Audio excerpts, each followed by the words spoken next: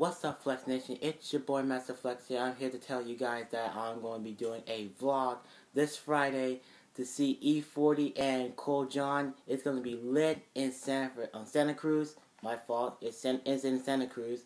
Anyway, and I'm going to be recording it if I can try. And uh, everybody's going to get lit. And uh, it's going to be me and my friend. It's going to be so fun. I can't. I'll, I'll probably remember what happened on third on Friday. So we'll see what happens from there. Um, what was I gonna say? Oh, I am going to be doing uh, freestyle on next Monday and next Tuesday. I didn't get a chance to do it on Tuesday because I have been doing a lot of things right now. And uh, anyway, guys, I hope you guys enjoyed this video and smash that like button, subscribe to the channel. I'll see you guys next time.